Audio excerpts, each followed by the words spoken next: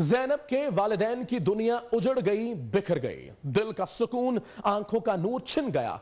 खिलौने, किताबें और सिपारे भी अकेले रह गए और नन्नी जैनब मनुमट्टी तले जा सोई।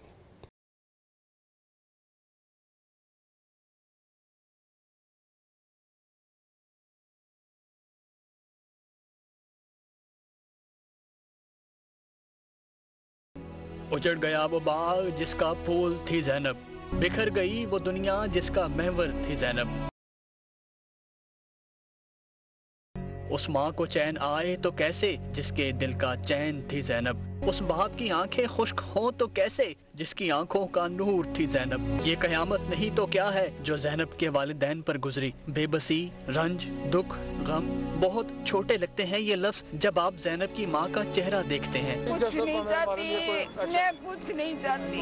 मैं इंसाफ चाहती हूँ मेरे पास रही मैंने क्या बताना है? जैनब के वालिद के बारे में क्या कहें? जिसके साथ अनहोनी हो जाए वो यूँ ही दुहाइयाँ दिया करता है। आर्मी चीफ ऑफ़ पाकिस्तान से मुताबा करेंगे कि ये बच्चियाँ सबकी सही होती हैं।